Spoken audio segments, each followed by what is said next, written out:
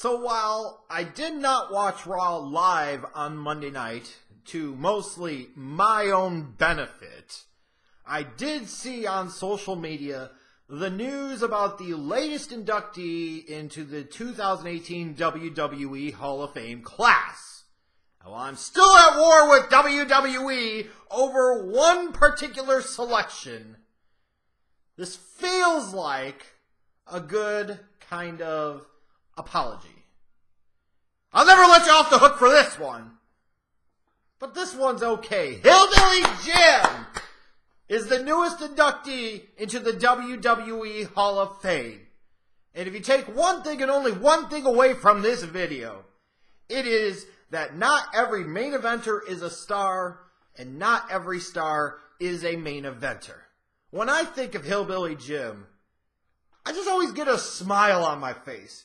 Like he's one of those ultimate guys in professional wrestling for me that always has and always will make me kind of chuckle, laugh, smile.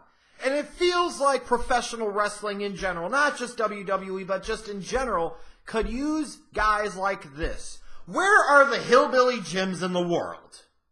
Where are the hillbilly Jims in professional wrestling? I always thought the connection between him and Hulk Hogan was outstanding. Like there was real chemistry there on screen. He was like the ultimate good guy in a lot of ways.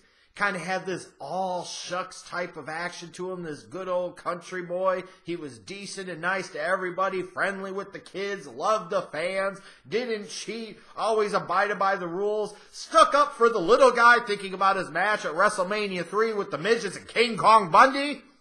You know, you look at Hillbilly Jim Man, and to me, he's the perfect example of a real baby face. Like, we don't get a lot of clear cut heels and true clear cut baby faces today. And that's not necessarily a good thing. And yes, this is me being older. Yes, this is me yearning for the days of old. But you can take concepts and principles from the past, tweak them, modify them slightly, and still make them work today. And when I think about the way you could utilize a hillbilly Jim in friendship angles and tag teams, and you could use him as a guy to get heat on a heel, and then Hogan comes in and kind of saves the day. It feels like you could use that in a professional wrestling today, and you could make a bunch of money. And make no mistake about it.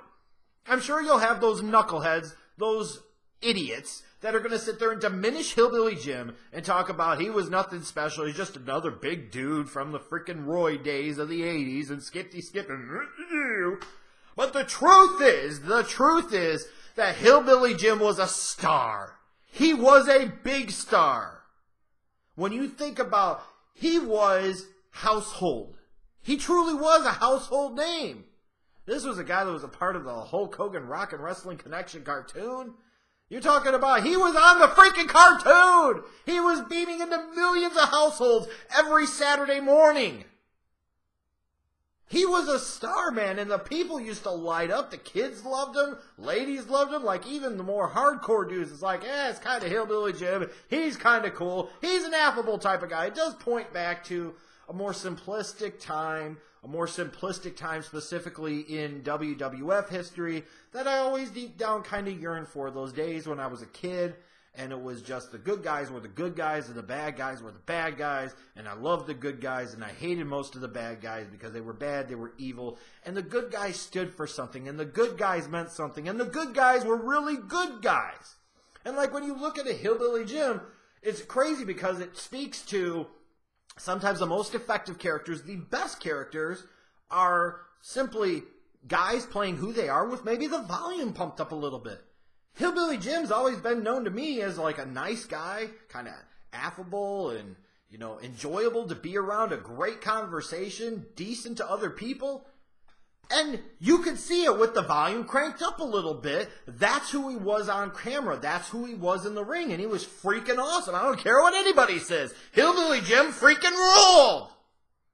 He ruled. Hillbilly Jim kicked ass. And if you don't like that, you can kiss my ass. Hillbilly Jim was a bigger star in his time as an ancillary bit figure in the whole globalization of WWF than 99% of the current roster today. And don't at at me, as the kids say nowadays, because deep down you know it's true. It points back to that great time where so many of these guys were larger than life characters and personalities. And it comes back to that old saying that I just said at the beginning of the video. Not every main eventer is a star, and not every star is a main eventer. Hillbilly Jim was never a main eventer for WWF, that's for sure. But he most certainly was a star, and that's something that nobody can take away from him. So I know when it comes time for him to come out on Friday night, that WrestleMania weekend, and deliver his speech, I'm expecting a good time. I'm expecting a great speech, and I'm expecting to be able to be a little kid again and laugh and smile and think back on a much simpler time and how badly deep down I wish I could be so naive about the world and so naive about wrestling that it could still be real to me, damn it!